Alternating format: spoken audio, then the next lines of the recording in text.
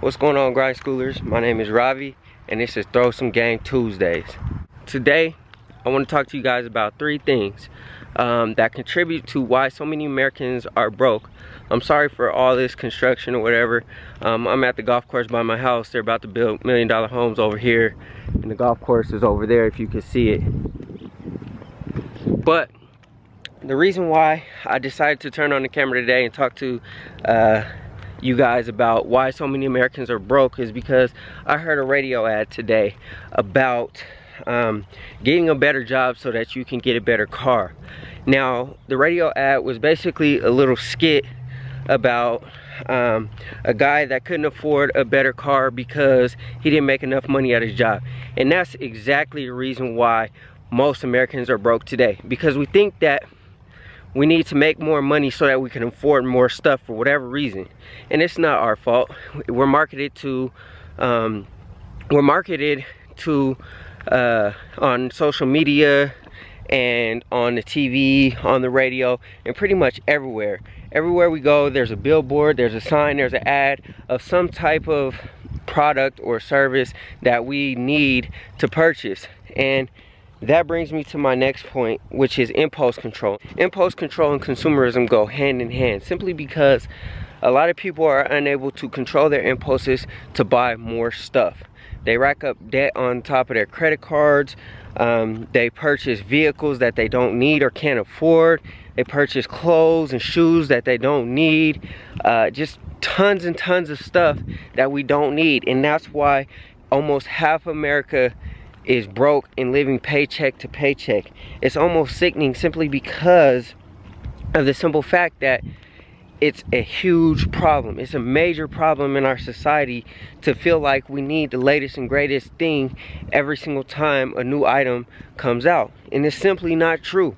And this brings me to my third point, which is it all boils down to education. Unfortunately, it's not our fault. It's not our fault. and I don't necessarily want to say um, it's not our fault because I don't believe in uh, playing the blame game. But the lack of education does contribute to why people um, buy the things that they buy.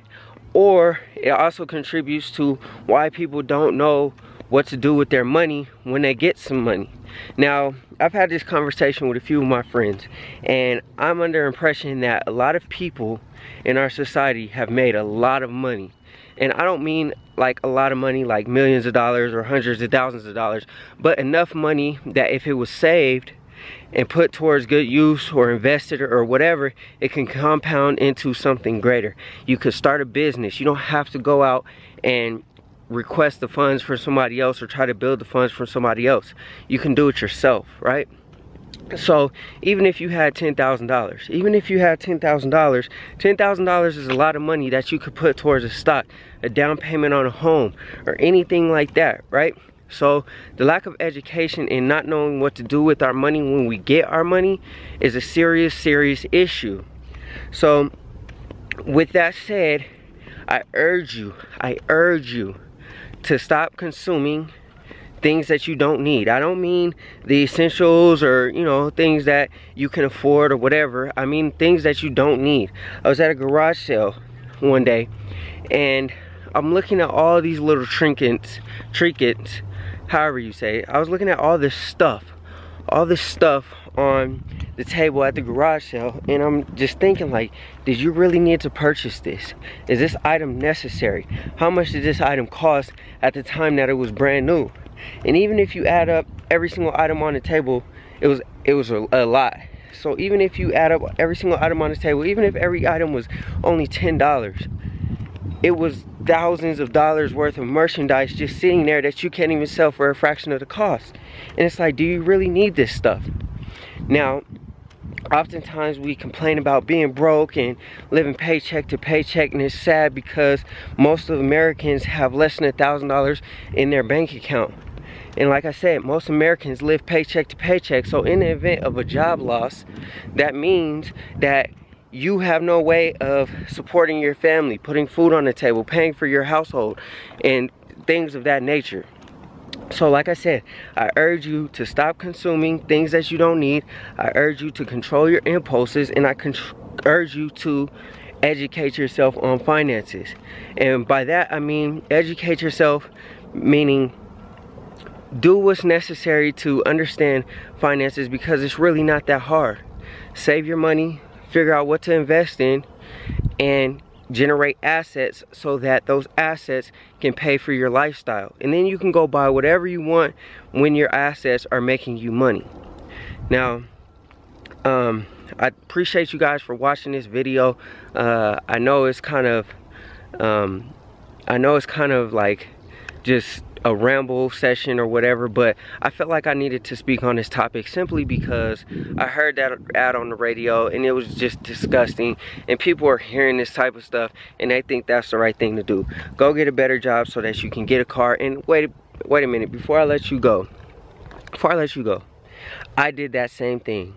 I got a better job, I got a better job so that I can make a car payment that car payment ended up costing me thousands of dollars and I never even got to own the car because the car got wrecked by a drunk driver and that drunk driver didn't pay for anything on the car because I wasn't in the car. The car got hit um, while the car was parked and I had to since I was underwater on the car I had to come out of pocket thousands of dollars to pay for the car that was never even mine so I urge you, I urge you not to buy things that you don't need and be smart with your money.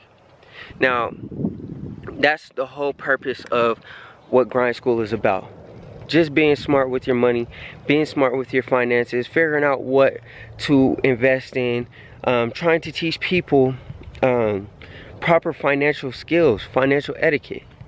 But I won't hold you guys up too long. I just thought that that was really interesting that somebody would get a better job just to go purchase a car. And I understand that it's it's in our DNA to purchase things. It's been embedded in our minds that we have to keep up with the Joneses. Um, and it may not be you, but a vast majority of Americans are this way.